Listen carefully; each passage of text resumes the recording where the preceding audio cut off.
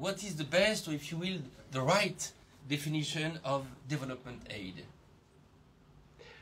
I, I, think the definitions that is presently used by the Development Assistance Committee of uh, the OECD is, is a pretty good um, concept. It basically concerns uh, transfers from one, uh, one country to another, uh, official transfers um, that are meant, that are destined for development, and um, that has uh, a significant grant element uh, inbuilt into it. In other words, uh, you put together both pure grants but also loans that have a substantial grant element. The issue, of course, is that uh, with this definition, there are certain aspects of private donations and others that are not captured by this. And this is becoming an increasing uh, problem. It's becoming increasingly clear that that particular part of what you would call development aid um, resources or flows has increased a lot, and it is important uh, that those uh, flows are also captured. But I think there is a, uh, when it comes to the definition of the development aid, I think we, we, we, we, we uh, are, are, doing reasonably well with existing definition, except for that specific point I mentioned. So essentially, it's about uh, public allocation of resources traditionally it, it is essentially about how uh, one country can help another country and its population to achieve higher standards of living. Yes, and, and so you just mentioned that uh, uh, this has been the traditional definition, and, and more and more uh, private donations are becoming significant, and so far this hasn't been uh, captured, right? Yeah, I mean, it's clear that there is uh, an issue in relation to the capturing of that aspect of the total flow that goes towards these objectives. I mean, if you go to the uh, DAC database, uh, there are certainly flows that we would refer to as uh, these private flows that are not captured. And of course, from an analytical perspective, we would like to have that better reflected. The problem being um, that whereas you have member states of the OECD that report uh, what they are doing, you don't have uh, the same registration of what uh, private actors do. And, and, and so we are left with sort of, so yes. we are left with trying to collect that from different, at present, rather disparate sources. Mm-hmm. Um, so that is uh, clearly something uh, that is lying ahead of us as a challenge that need to be addressed. And, and private actors are, are, nowadays significant enough that we should try to capture their contribution. That's exactly right. I mean, uh, parts of, for example, the Gates uh, uh, funds are now being captured in some of these uh, numbers, but there are other uh, private flows that are not. Mm-hmm. And do we have an idea of what is the current distribution of, uh, of public aid and private aid? I mean, do we have an, a, rough well, assessment? I, I, uh, the, the, the, since we don't have exact information here, we are talking about, uh, how can you say, uh, areas where you are uh, guesstimating, as we would sometimes say, but it is probably somewhere in the neighborhood of about maybe 20 25%. So it's, it's quite significant. It, it is something that is important, yes. Okay, so that's uh, the overall definition of uh, development aid. Now, of course, I mean, uh, development aid hasn't always existed. So uh, now that we have clarity, if you will, now that you gave us clarity on, on the notion of development aid itself, uh, tell us a bit about the, the history of, uh, of development aid. You know, when did it start? Why did it start? In essence, what was the, the rationale for it? Um, and over time, you know, who have been the main donors and who have been the main recipients. So first of all, when did this start roughly? I, I, think it's fair to say that development aid, um, as we know it today, that basically started after the Second World War uh, with the massive Marshall Plan through which the US basically helped uh, the reconstruction of uh, Europe. The Marshall Plan was a really major international effort at rebuilding um, Europe, um, and it's very clear that at the time, um, the country that made these resources available, this means the US, made very significant amount of resources available uh, for this reconstruction effort. This, in many ways, has been defining in terms of how a lot of people and a lot of institutions have over the years thought about development aid, and it has also fueled uh, what I have sometimes called uh, over optimistic expectations about what aid can do. Mm-hmm. It's clear that the Marshall Plan was incredibly um, successful. Uh, in, in, a relatively short period of time, uh, through this influx of resources, essentially uh, Europe uh, was rebuilt, was reconstructed. Um, and uh, there's no question that the impact was visible. It's clear that um, as you then moved up through the 50s and into the 60s, then clearly what happened was that the development aid flow was directed uh, to other continents, to places where what we saw was what some people have called underdevelopment, what we refer to as the developing world. And it's clear that the challenges that development aid has been targeted uh, to resolve in those countries were clearly bigger than what they were in Europe after the Second World War. After the Second World War, basically, what was the situation? Well, the situation was that Europe was physically destroyed. Infrastructure had been destroyed, and so on and so forth. But it should not be forgotten that the what we sometimes refer to as human capital the capacity of people in terms of background training, education, institutions, and so on. Well, while the war obviously was destructive, well, it didn't destroy all of the human capital. There was a lot of people killed, but there was still a lot of human capacity left. Mm-hmm. Institutions still existed. So, what you can say is in such a situation, adding in that resource flow, it has the potential to relatively quickly help lift the whole system. Mm-hmm. And that happened. Yeah. Now, the, the challenge was, that was then addressed when we start talking about the developing world, about all those countries that became independent around 1960, is of course a much bigger challenge. Uh, because this is a challenge that involves institutional issues. It's not simply a matter of building some infrastructure. Mm-hmm. So, so the very nature of of, of uh, development aid, uh, when we compare the Marshall Plan and then what was done in favor of uh, uh developing countries, was was a, a, bit different, simply because the conditions of developing countries, you know, were uh, very different, right? Yeah, you, you, there was a lot of focus in the early years um, on reconstruction, on investment in, in, in a traditional physical sense. And that certainly was also the case in the early years of the aid that was challenged to developing countries. Mm-hmm. Uh, the World Bank's uh, IBRD is actually the International Bank for Reconstruction and Development. Um, but it's clear that as we went through the decades, the role that aid was assigned to uh, fulfill changed. Originally, we were thinking a lot about investment. We were thinking a lot about investment in infrastructure and so on and so forth.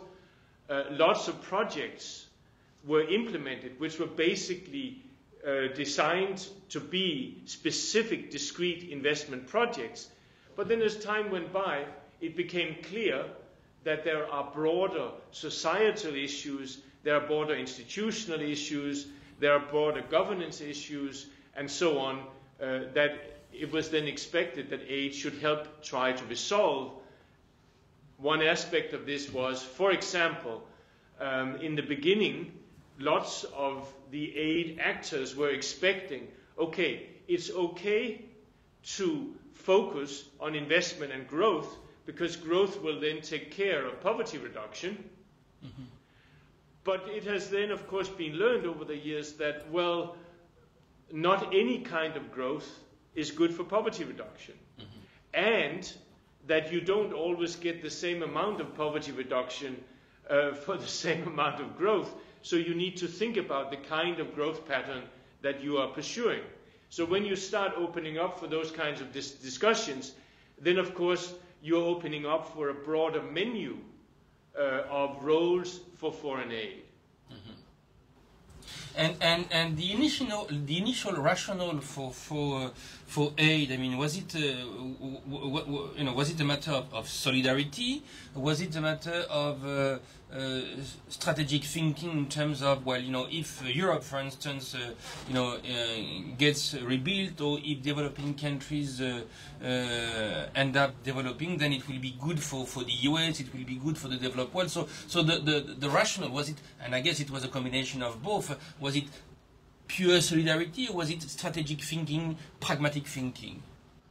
It, it, it is clear that the motivations uh, behind uh, foreign aid, and in, that includes, uh, when you go back to the Marshall Plan and so on, includes, uh, on the one hand, definitely concerns about the fact that it's not good, um, either for the people who are suffering poverty and need, um, but that not being good for that, those people, that's a humanitarian concern, if you wish, an egalitarian concern, at least some sort of concerns about justice uh, and so on.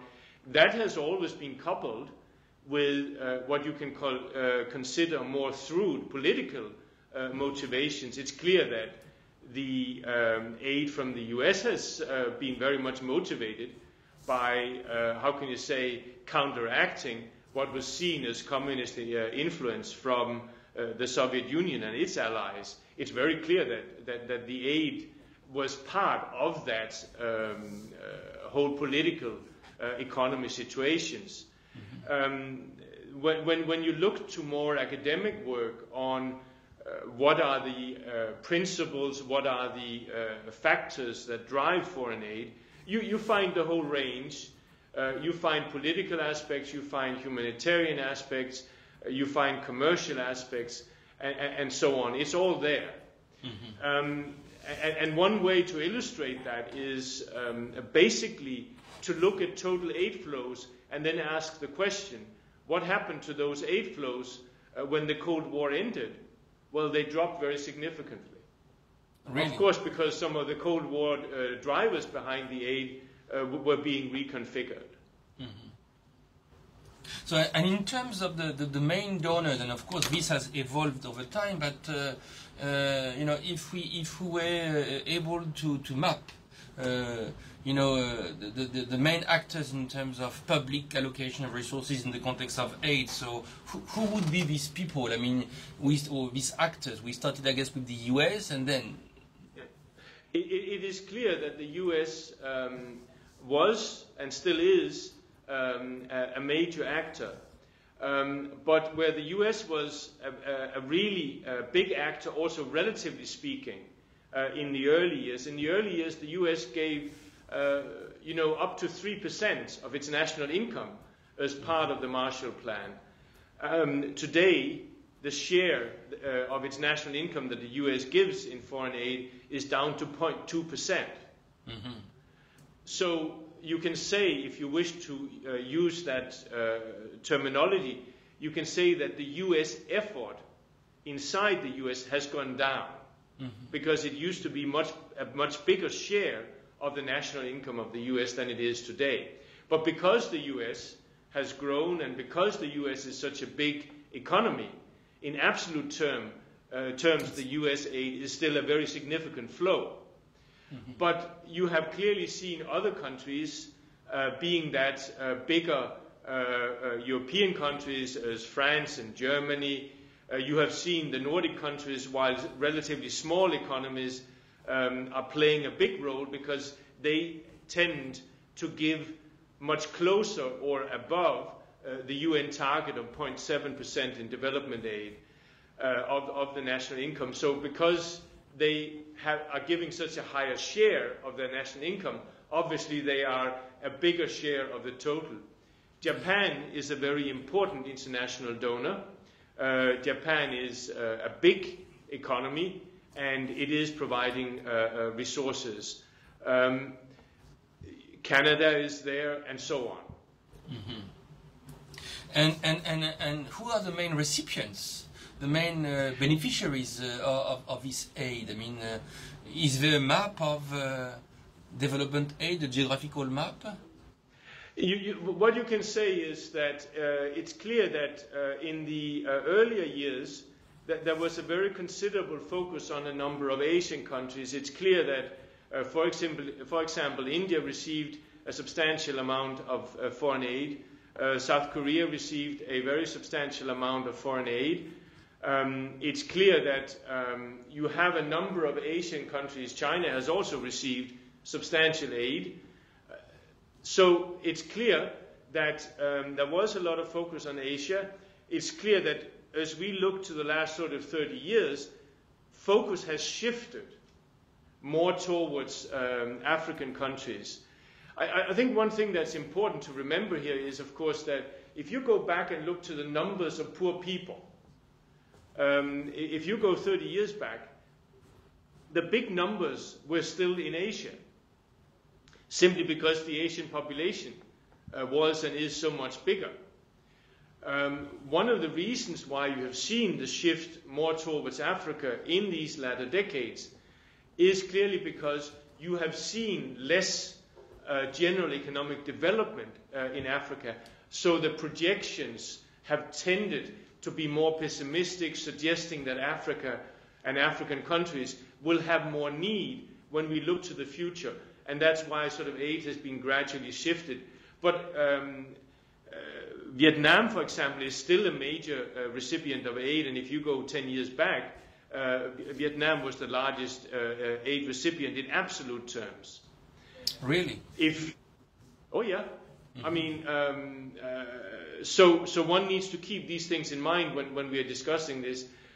countries like Nepal has received a lot of support uh, Bangladesh has, and so on.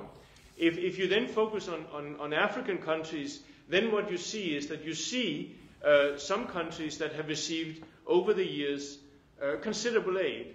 Mozambique has received considerable aid, Tanzania has received considerable aid, um, Kenya, uh, Ghana. Uh, there is a very large number of countries in Africa that have received um, uh, important amounts of aid as we look towards these past uh, uh, four decades. I think, however, it's important when we are discussing um, foreign aid to think about it both in relation to the absolute numbers, which is what uh, is often um, put in the press, but sometimes when you see it from the side of the recipient, uh, and sometimes when, I, when I'm discussing these issues with, with people in a more broad context, I ask, so how much do you think that an average person uh, in Africa or an average person um, in Tanzania, for example, receives in foreign aid per year? Uh, sometimes people expect that these numbers are really very, very big. Uh, they sometimes say, oh, maybe we pay them $1,000 per person a year or something like that because they have heard that these numbers are really big. Well, in a country like Tanzania, the amount of money that actually goes to Tanzania, when you add all that up, is about $30, $35 per, Tanz- uh, per, per, per, Tanzanian citizen per, per year. year. Per year. I, am not, not saying. I, am not saying uh, that this is uh, uh, not worthwhile uh, to discuss, plan, and use properly. But I am saying that when we think about the development challenges that are there, when we think about what it costs to build a road uh, from whatever, when we think about some of these costs that are associated with bringing countries into development processes, uh, clearly uh, you, you, may want to think about those dimensions when you think about what aid can achieve. Yeah. Uh, you, you mentioned that initially it's uh, uh, Asia which received quite a bit. I mean, India, South Korea, China. Is it simply because the, the number of poor people in this country was uh, enormous, or is it because there was a, a, a, a, strategic value in helping these countries in geopolitical terms? I, I, don't think there's any question uh, that the reason for um, being uh, supporting India uh, clearly was because there was a history India is a very large, almost continent. There was a long uh, colonial history with the UK. I think it was understood um, that the world would be a better place if you maintain a process of development uh, in that uh, part of the world. It's clear that uh, a lot of support has been going into Pakistan over the years, both development but also more motivated by political aspects. Uh, that, of course, is part of the present day discussion. Um, so I think that it's understood that um, the aid is given both in order to promote development, broadly speaking, but certainly also as, as, as part of a political process. US aid has over the years, to a very large extent, been uh, uh, geared towards uh, Israel and, and Egypt. Mm-hmm. I mean, a very significant part of US aid has been uh, given to these two countries. Yeah. Uh, we see now, of course, that a very significant part of the aid is now going uh, towards, for example, Afghanistan. Yeah, so clearly the, the, the, strategic motivations are, are here. You, you also, when it comes to uh, Asia, you, you mentioned China. Uh, was uh, development aid uh, critical for, uh, uh, for the development of China? I mean, pre 1978 and then post 1978? I think that the foreign aid to China has played a critical role in a, a number of um, areas where foreign technology, uh, human capacity, um, and simply knowledge has played a significant role. Um, am I saying that aid is the driver in China? No, I'm not. Um, but I think that it has played a, an important uh, uh part in, in, in, the overall uh, picture it's very clear that uh, if you, for example, look at the uh, celebrations that took place last year, where uh, the World Bank and, and, and, China were celebrating their many decades of collaboration, um, both parties recognized that this has been an important element, uh, not the driving one, but it has been a useful supporting aspect of it. If you go to a country like Korea, South Korea, it's very clear uh, that the very, very significant uh, foreign aid that, has, uh, be, uh, that was given is a, was a very, very uh, important part of the South Korean success. Mm-hmm. Um, and, and, something that we sometimes, in our present day discussions, underestimate is actually the extent of um, US backed educational programs mm-hmm. that took place. Um, this has played a very substantial role uh, in building up uh, the necessary human capital in the Korean case, training people to a very high level.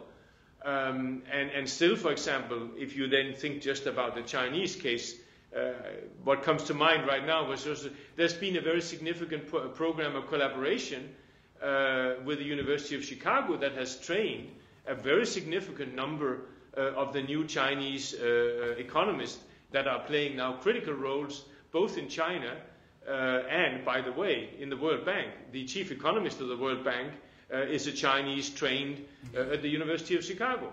Actually, I mean, you know, it's, it's interesting, Finn, that you're mentioning this. Yesterday, we had a video conversation with Professor Wang, who is both uh, from uh, Tsinghua and the University of Chinese University of Hong Kong, who is a, a, political economist, and he was telling us that actually, at a critical moment, Milton Friedman uh, was visiting China and interacting with the Chinese policymakers on all these issues. So it's interesting mm-hmm. that you're mentioning this.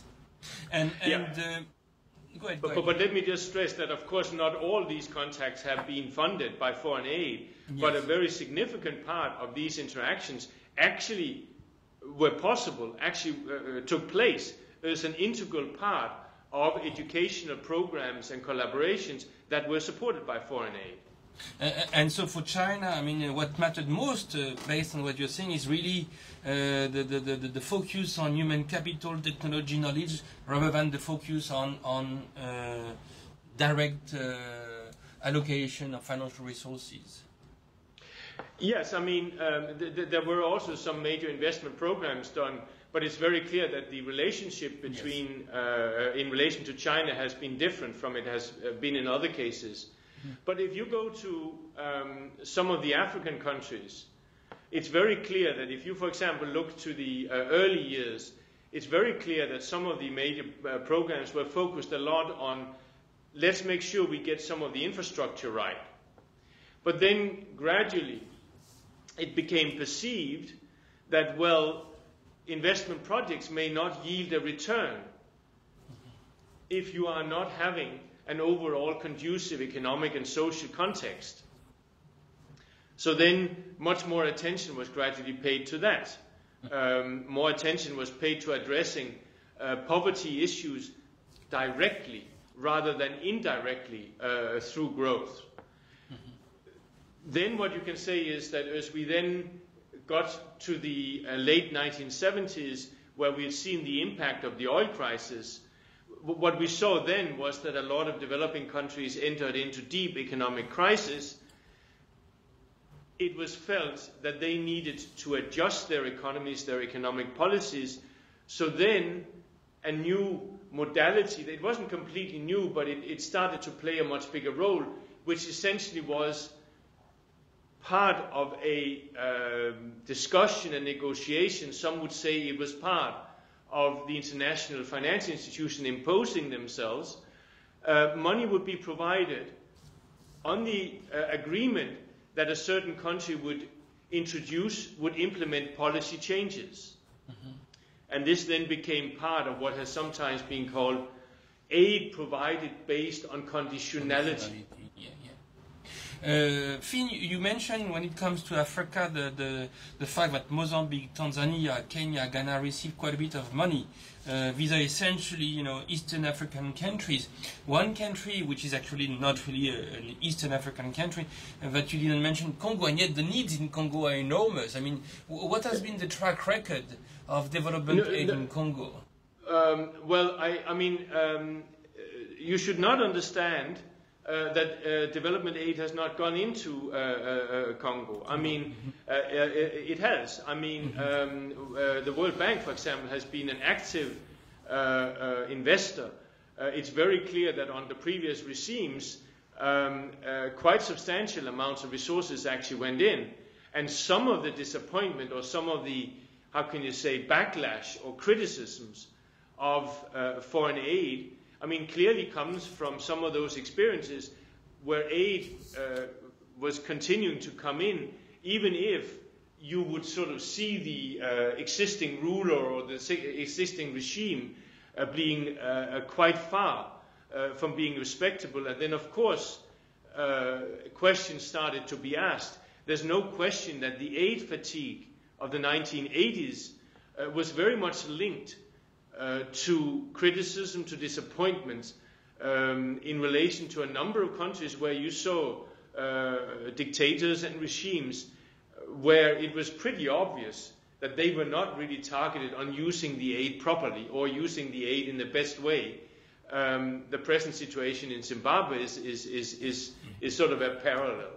Mm-hmm. Uh, and then in your list of uh, recipient uh, uh countries or regions, you you didn't mention the Middle East and, uh, and, and, Latin America. I mean, uh, what's the situation on these two regions?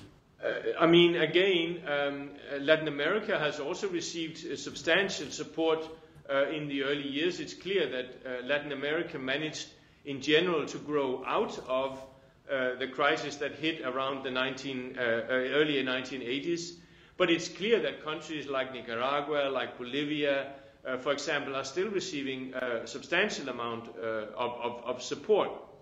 It's clear that um, when you're looking to the Middle East, uh, it's very clear that um, there are countries there that have received substantial uh, support, but some of those countries have also had substantial income from oil resources uh, and therefore have uh, more been on the donor side. I mean, we saw when the oil prices increased in the 1970s we actually saw uh, some Middle Eastern countries entering the aid scene, uh, uh, scene as donors uh, and, and, and basically tried to provide aid, which was essentially recycling some of the money that they had earned from the high oil prices. Yeah.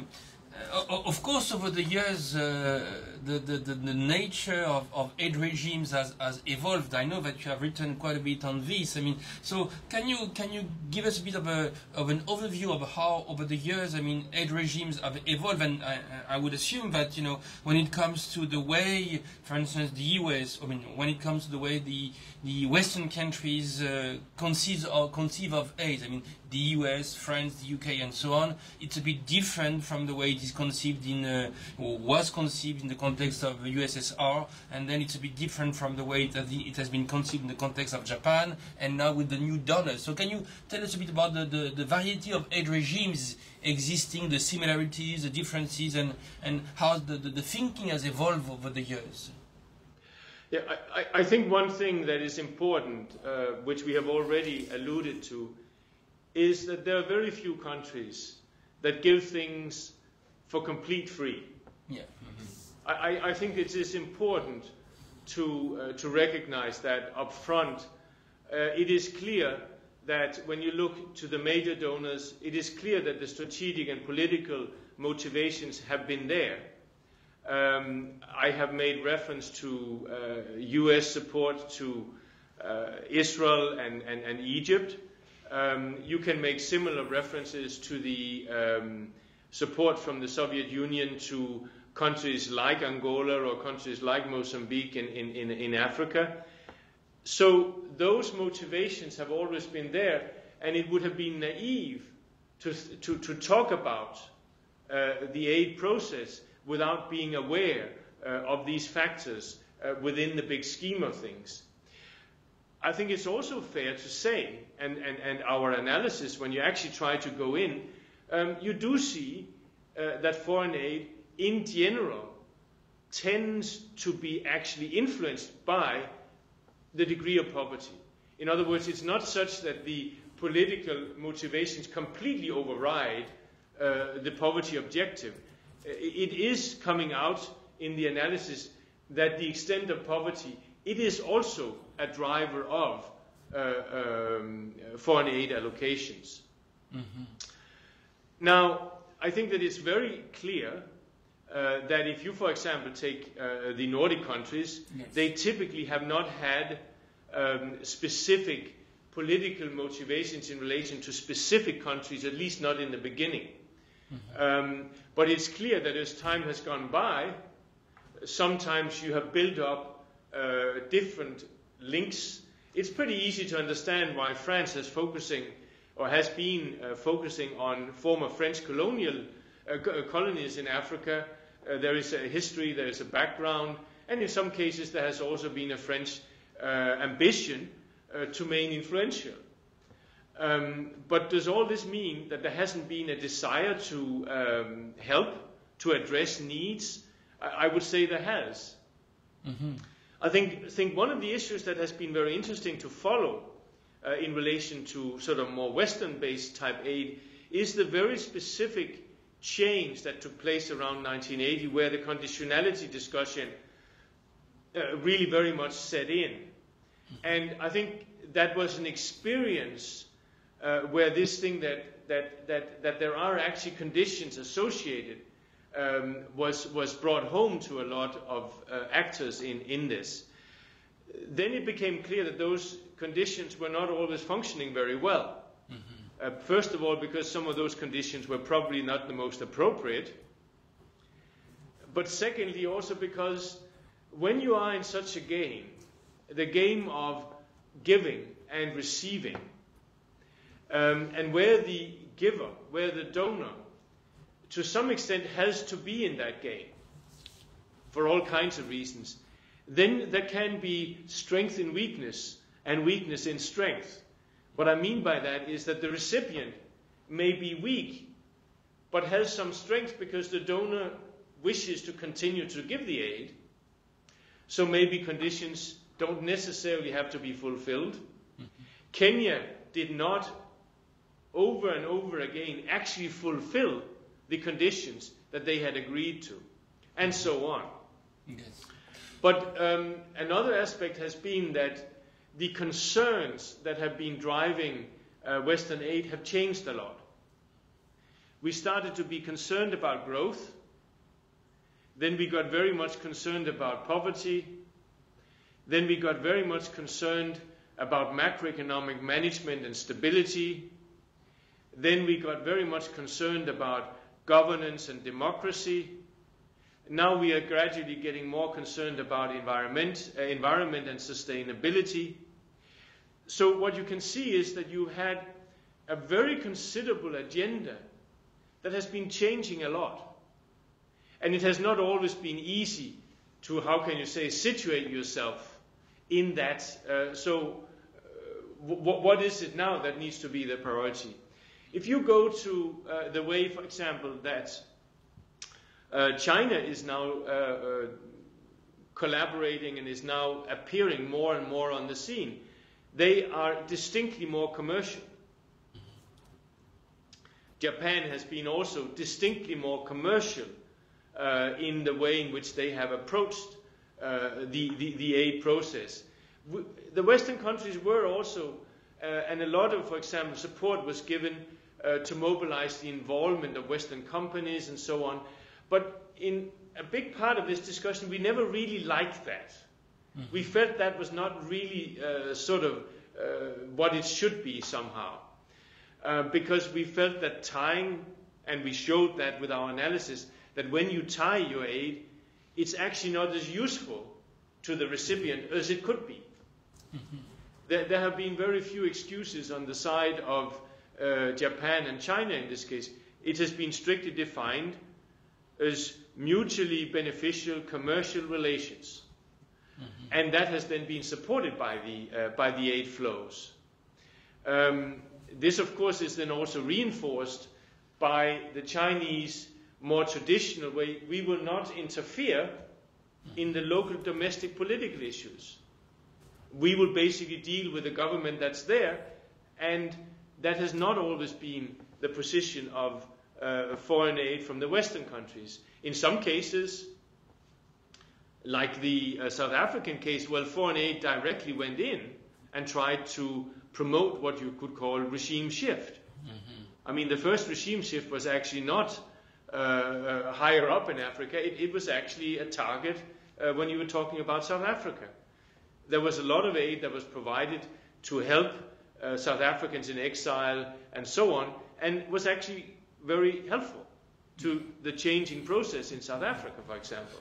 So, so Finn, you, you gave us uh, a lot here. So let's unpack a little bit, if you will. Yes, uh, First of all, the, the, the, the notion of uh, uh, conditionality. You mentioned that it became part of a, a, central part of the of the public discourse on aid in the early 90s. So how did it come to be such a, a key feature of the public discourse on aid uh, in the early 90s, this notion of conditionality? It was about I, I, I effectiveness of aid, essentially?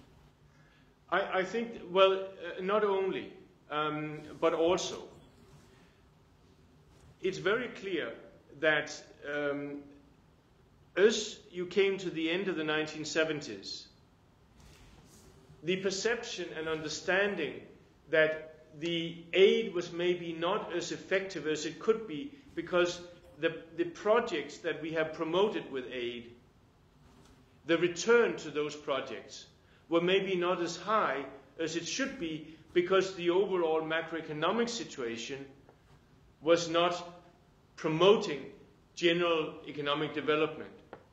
If you build a road, but you don't make it profitable for people to use that road, if you make investments that will only yield a return if the economy is generally working and, and, and, and properly functioning, uh, then you need to think about the system.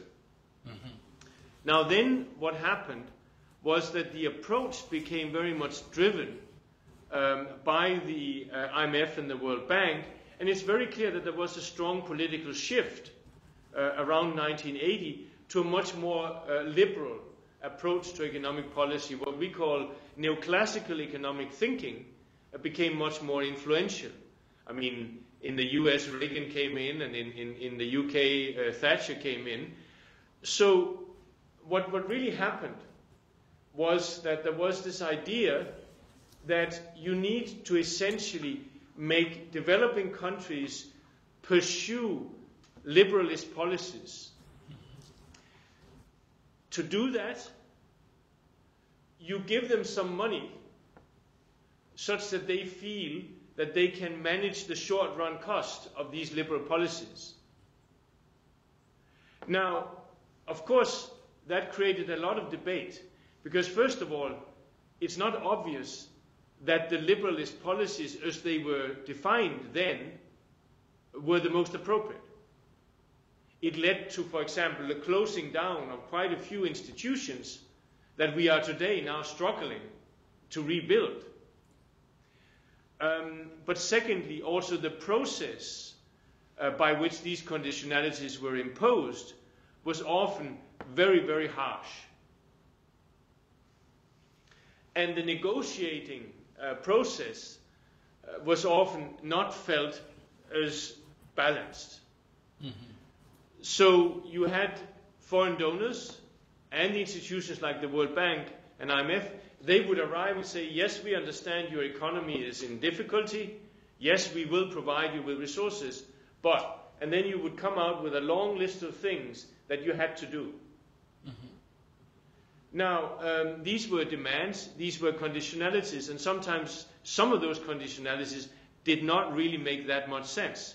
Mm-hmm. It went overboard. Yeah. Mm-hmm. Um, I, I, can give you a, a small example. I was myself at that time working as advisor in Mozambique, and we were desperately looking for yet another price to liberalize.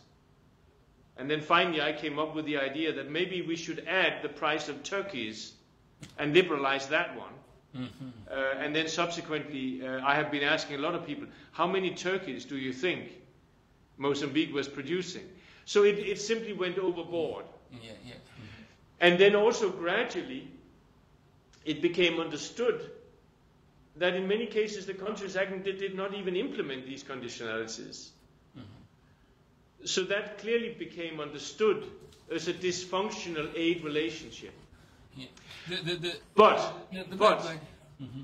um, but I think that um, this aspect that the aid relation um, has an element of negotiation or conditionality inherent in it should not be uh, just thrown away.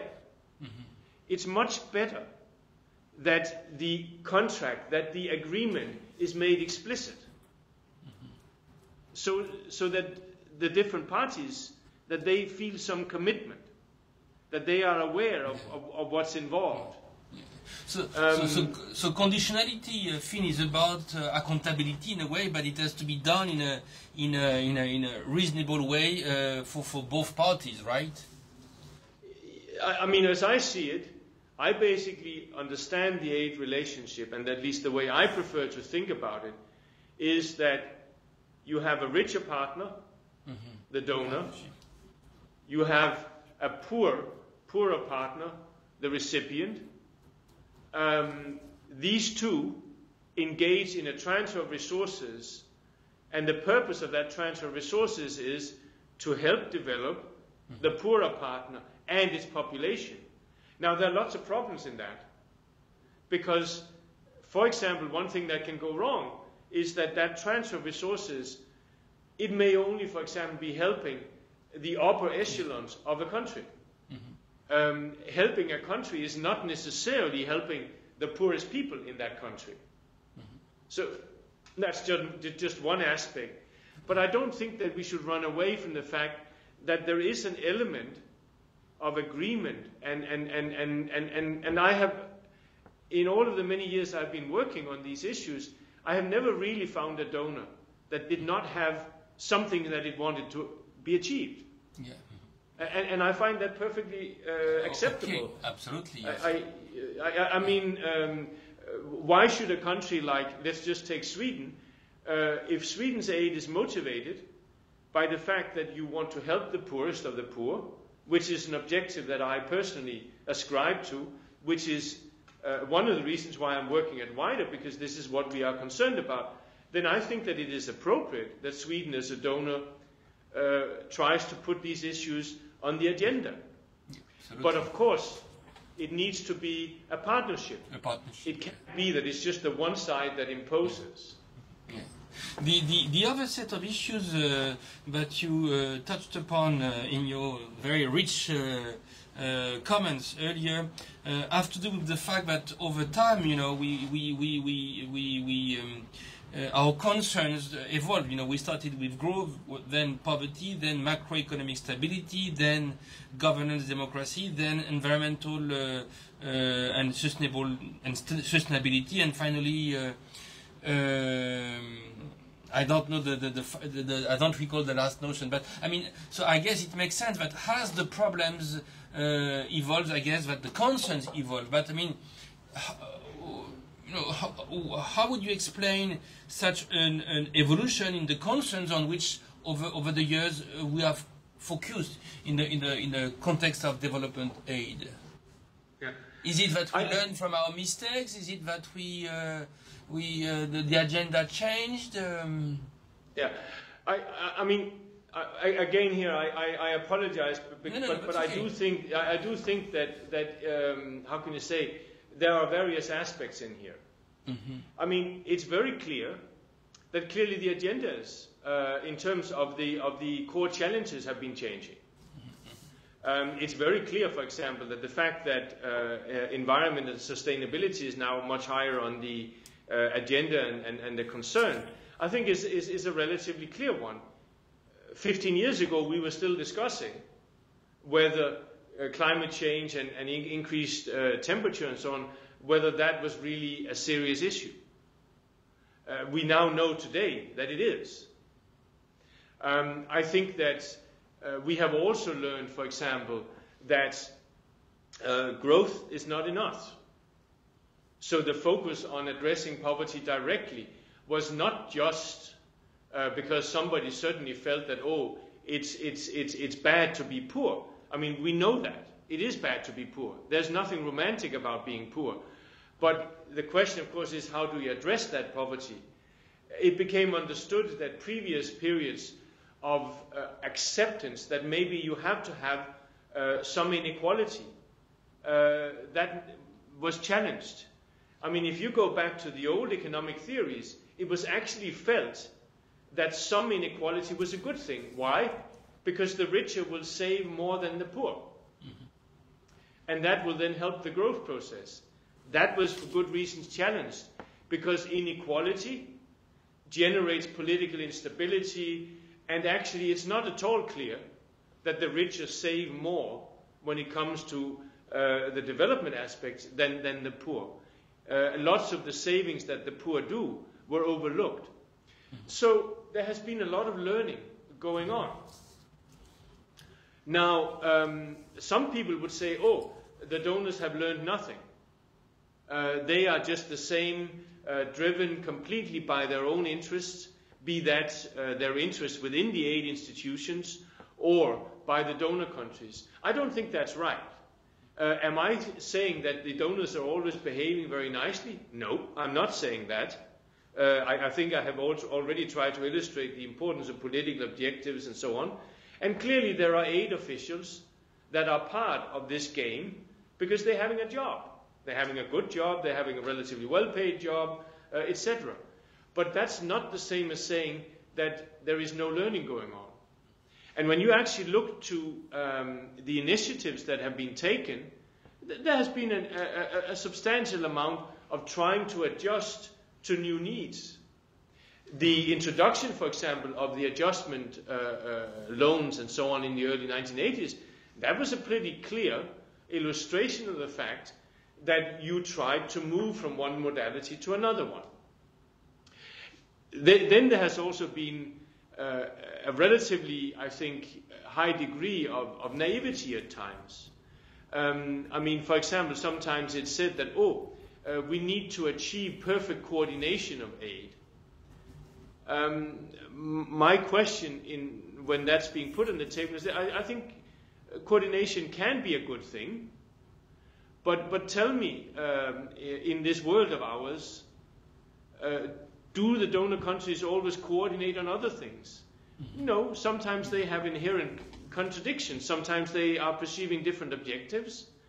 And uh, when you go to individual uh, developing countries, it's not always a good thing for the developing country that everything is completely coordinated from outside. It can actually be to the benefit of the recipient that there is some flexibility. Flexibility is not necessarily a bad thing. A bad thing, yeah. Mm-hmm. And, and, then the, the, the, third point that uh, uh, that you, you alluded to had to do with the, the, the commercial nature of uh, uh, development aid when it comes to, to Japan and China. So, so what is the, the rationale uh, to this uh, commercial nature, and why is it that they have followed this path, which is quite different from the one of of the Nordic countries, of uh, the Western powers in general? What, how do you explain this path?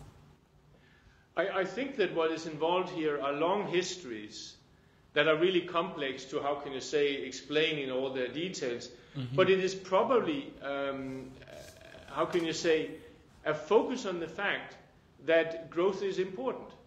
I think that this is part of this understanding that, um, you know, if the, if, if, if the pie is too small, the pie needs to grow. And I think that um, that focus is probably an important part of why they do it the way they do, plus the historical and political and other reasons. It would be hard to expect uh, China to go out and uh, be pursuing um, uh, governance uh, issues such as uh, democracy and others, um, simply because their own system at home has developed in a different way. Mm-hmm. Um, I, I, think that, that, that that's relatively clear. Um, and I think it is fair to say um, that you can develop countries with quite a broad range of political regimes. They can still grow, um, and, and, and uh, it is certainly not clear. Um, democracy, for example, just to illustrate, uh, democracy in itself, in my assessment, in my value judgment, is a good thing in itself. And, and, and, and I uh, have been willing uh, to say that it forms part of my value set. Would I be uh, able to go out and say that to grow and develop, you need democracy as a precondition? I, I cannot say so because uh, you, you, have seen development in Vietnam, you've seen development in China, you have seen development in Taiwan, you've seen development uh, in Korea under circumstances You've seen development in a number of African countries. You could not consider those countries as democratic. Mm-hmm. Do I believe that gradually, that eventually, a development process will push democratic issues on the agenda? Yes, I believe that. Mm-hmm. Um, do I believe that democracy is in the way of development? No, I don't believe that. Um, but there is sort of uh, th- th- this is where these are difficult, um, you know, issues because the, the, what we sometimes call causal relationship is very complex. So it's, it's about the interplay between the, uh, if you will, uh, the economic agenda or the development agenda and the political agenda. Absolutely. Uh, uh Absolutely. Yeah. yeah. another point, uh, Finn, you know, uh, traditionally aid regimes have been, you know, about north-south relationship, but now, of course, with the emergence of, you know, new countries, China, Brazil, and so on, are we going to witness a, a, a soft, soft uh, type of uh, aid regime? I, I, I think there's no question that with the changes that are taking place in the global economy, uh, that a lot of what we have typically thought of as north-south relations, including aid relations, are clearly going to change. We see that with China. Um, there is a lot of um, discussion about, for example, China's role in Africa. And I think that, that a lot of that discussion is uh, completely understood um, and understandable. Um, I think that there is some concern that's not always, um, how can you say, well justified, uh, because it's not like that, for example, African countries has, have always been treated nicely and been getting the best deal out of their interaction with Western countries. Uh, I mean, if you take some of the natural resource uh, extraction contracts, Um, I mean, you cannot point always to that, to having been good deals for African countries. Um, what you can hope is that that greater plurality, that greater uh, number of actors, can be helpful uh, in generating uh, what you could consider uh, a much more optimal situation. We normally actually like to think that an element of competition is not a bad thing. Uh, so I, I, would tend to suggest that there are probably possibilities here, um, and, and, sometimes there are also uh, dilemmas. Mm-hmm. I mean, it's clear that um, you know you can say that some things have been achieved in terms of the democracy agenda. It's clear that uh, one would not hope that there are going to be backlashes to that. Um, but I do believe that, that, that it is a good thing that former developing countries, that they now enter the scene and put their experience on the table. Because that can help in, how can you say, getting a more informed aid debate and a more informed discussion. And actually, one of the reasons why I'm working a lot on the aid issues is because I actually believe that there are quite a few cases where aid has played a good role. Um, you can point to that in a number of countries, and I think that there are also situations where aid has not played a good role, but it's, after all, one of the few uh, links or possibilities we have through public money to influence what's going on. But precisely, Finn, you know, um, do you think that uh, the, the, fact that we're going, that we're in the process of adding to the north-south dimension, the, the, the uh, south-south dimension to to to uh, to development aid regimes is going to change the nature of the debates on, on development aid, and is going to change somehow um, uh, how we, we we critically think about uh, uh, development aid. You know, as you know, uh, in recent years, aid has been criticized a lot. So, do you think that these, you know, important changes are going to somehow reshape the debates? I, I, I mean, I, let me say that I, um, I think um, that um, the debates are not going to go away. Okay. Mm-hmm. Um, I, I, I, think that there will continue to be discussion about what is the most effective um, and good way to develop countries. Mm-hmm. Um, and, and, and the thing is that these are areas where we still have a lot to learn. And because somebody succeeded yesterday doing something, does not mean that another country can do the same thing tomorrow these continue to be very complex areas. Um, what I'm saying is that I think that the greater plurality of actors on the aid scene, uh, scene uh, can help make sure that different dimensions and different perspectives are being brought to bear. And that, I believe, uh, will be useful. I, I, I, do not think that the critical voices uh, in relation to uh, development aid are going to stop easily. Mm-hmm. Uh, some of that uh, criticism comes from a deep felt concern that the whole aid relationship is not a good one. Mm-hmm. Um, and I don't think that those kinds of concerns are going to go away, uh, uh, you know, very quickly, B- because those concerns will also be there, uh, thinking about aid between um, a former developing country and a still developing country. So that I think will still be there. Um, but I do believe um, that having the aid as part of a bigger, more complex set where more actors are there and where former developing countries will be part of the decision making, I do believe that that is going to be helpful. And I actually am convinced that that will be useful for the overall aid debate. Yeah, yeah.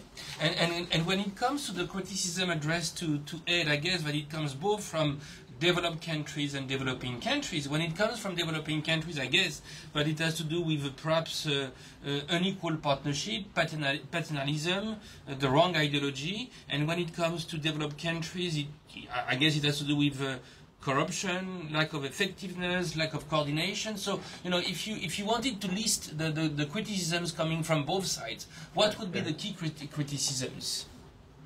Well, I mean, I, I think that, uh, well, you, you, you, practically already mentioned them. I mean, I think that uh, on the recipient side, why, uh, why would you be, uh, um, how can you say, um, uh, critical? Why would you be uh, cautious and so on? Well, because aid has often been very paternalistic. Um, aid has often um, been mistargeted.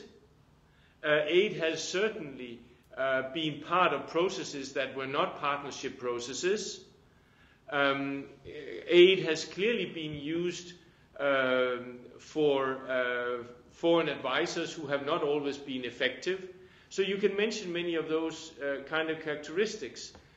From the donor side, from the uh, uh, origin side, well, you see that um, aid has sometimes been going to corrupt regimes uh, you can see that aid has sometimes had incentive effects which were not um, uh, productive.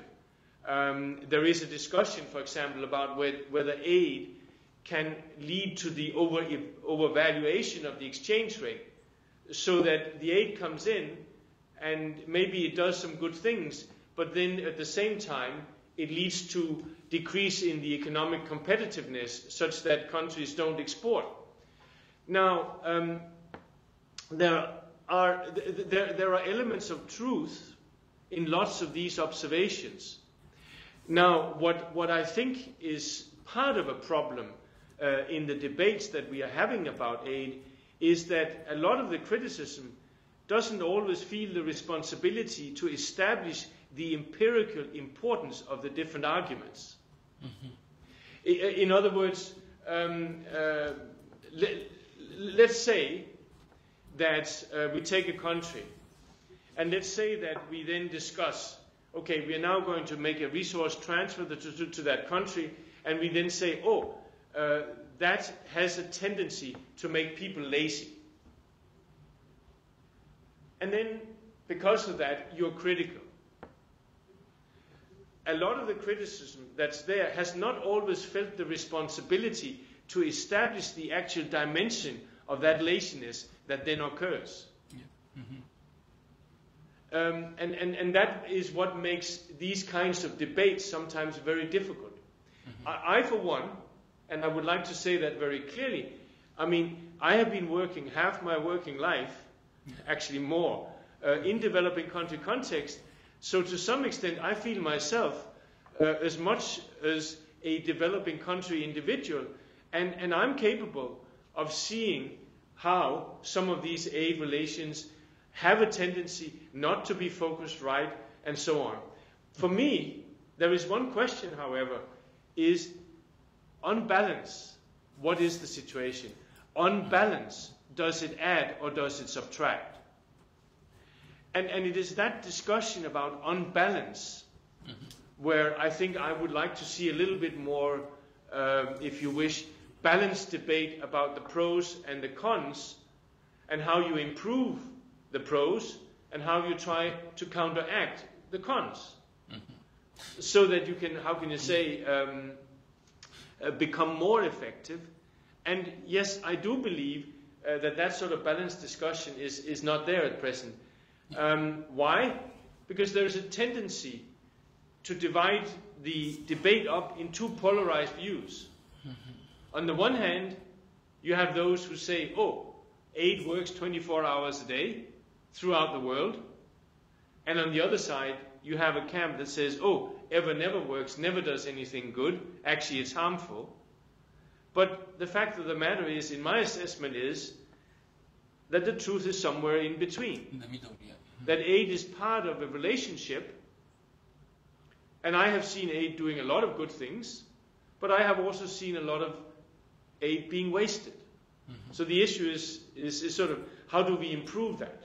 And, and precisely as, as, as we are reaching the end of our conversation, and uh, I know that you, you, you have a very lucid, because we spoke about it before, assessment uh, of, of, of the aid situation. You, you, you, you see the, the, the, the, the pluses and the minuses. So, and of course, you know, as you are committed to, to, to, to this uh, issue, you, you want to push as much as possible the, the, the pluses, the, the positive aspects. So if you had to, to make a number of, uh, of intellectual policy, uh, uh, institutional recommendations to really push forward the, the pluses of aid, what would be your, your key recommendations? And how would you go about making sure that they become part of, of reality? Yeah. I, I think one very important aspect is that the partnership that we referred to before is taking really, really serious. So that both the donor and the recipient, that they mutually understand and mutually agree to why they are actually engaging in this partnership. Mm-hmm. And that you, that you really take that partnership serious. And that you don't, how can you say, let uh, minor swings in either fashion or whatever make you then suddenly want to do something completely different. If we want to have an effective educational uh, collaboration program, that cannot be done if you just have a five year time horizon. Mm-hmm. It, it cannot be done. To, to get people to the PhD level, how many years does it take? Well, if you start with the children of today, they first have to go to primary school, then they have to go to secondary school, then they have to go to high school, then they have to go to university. And only after that process are you actually starting to have people who are then trained. One of the interesting things in some of the work that we have been doing, uh, trying to understand the relationship between aid and growth, is that those effects of aid you can only find those when you look over 30, 40 years. So, my suggestion is make sure that you are aware that development is long term. Yeah. You are not going to achieve these things in the very short term. When it comes to education, when it comes to health, it's almost self evident. But effective aid needs to be aid that is mutually understood by both parties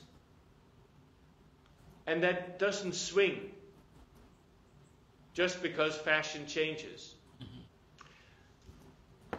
I believe personally that there has been another area that has tended to receive much too less uh, attention, uh, at least in the African case, um, in light of the Millennium Development Goals. I think that the Millennium Development Goals have been a very good um, initiative. I think it has attracted a lot of attention to serious, important goals in the international development debate, and a lot of mobilization around it has taken place. I think that's a very good thing. I also think, and, and this also comes out from when we're looking at our uh, foreign aid numbers, is that this has, among other things, led to, for example, that when you see the amount of aid resources that goes into health and education and compare that to what goes into agriculture, there seems to be not a balance here. Mm-hmm. And um, I mean, if you think about what people need in order to make a living, well, you have to make agriculture work in Africa. Mm-hmm. You have to make the economy work. I think that possibly here we have not had sufficient uh, assessment of the dilemmas or the trade-offs. So, so in essence, this Finn, you are saying area, that, yeah, no, no, this is a good point. So in essence, uh, Finn, you are saying that when it comes to the MDGs, uh, the, the focus has been too much on the, the, the, the social and economic rights, if you will, uh, and not enough uh, on the means to somehow uh, you know, engineer and make this uh, the fulfillment of these social and economic rights sustainable. We we haven't focused on on agriculture, on on economics, and and maybe we haven't focused enough either on on governance and on the uh, interactions between the private sector and the public sector. Yeah. No, I, I mean I, I, I believe very, very strongly uh, in the UN principles and that uh, we as human beings, we have rights. Mm-hmm. But it is also our duty to work and continue to work on thinking about and working on how do we achieve yeah. more people getting access to these rights. Mm-hmm. And I, I, I, I happen to believe that, and this is one of the reasons why I, I am an economist, uh, and I have stayed being an economist, even I have broad range of interest, is because I do believe that putting the economy to work is an important element of making sure that people get access to these rights, at least when you're talking about uh, rights to shelter, rights to yeah. food, right, and so on. Yeah. Uh, two follow-up questions, uh, uh, Finn, as a way to perhaps end our conversation. You talked, uh, you talked about the the the, the, the uh, essential need to be focused on the long term, and, and yet very often, you know, uh, donors, I mean, be, be private donors, public donors, even NGOs are very much, you know, eager to get quick results. So how do you balance uh, the need to show uh, quick results, which is supposed to be the, the part of the culture of the time, and this long-term commitment? And then second follow-up question, um, you, you talk about the need to really have uh, uh, a greater emphasis on agriculture, the, I mean, the needs to achieve these rights. What about the leadership dimension? I mean, the, the human dimension at the top, because unless you have people at the top committed to really the welfare of the country and of, of, of uh, people, well, chances are that it's not going to happen. So first of all, the, you know, the tension between long term and short term. I, I honestly, I don't think there's any simple answer to that. Yeah. Uh, this is a constant balancing that you constantly have to face.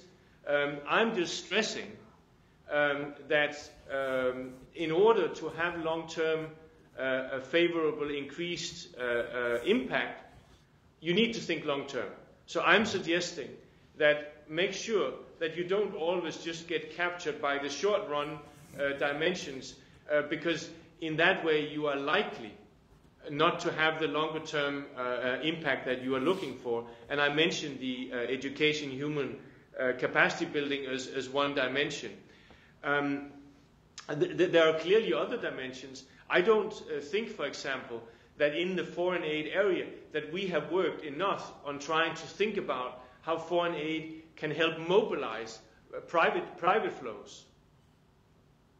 I mean, one way of uh, seeing higher impact of the foreign aid is if we can help mobilize uh, the, the private resources.